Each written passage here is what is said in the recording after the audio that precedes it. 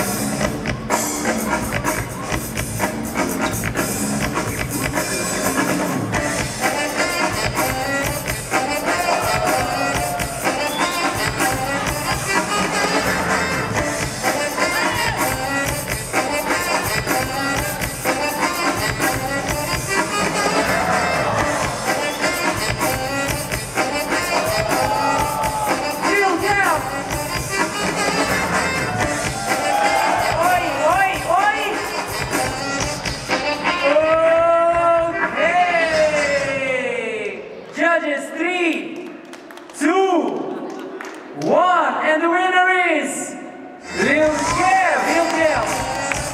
Thank you guys. Thank you for this beautiful show, for this beautiful battle.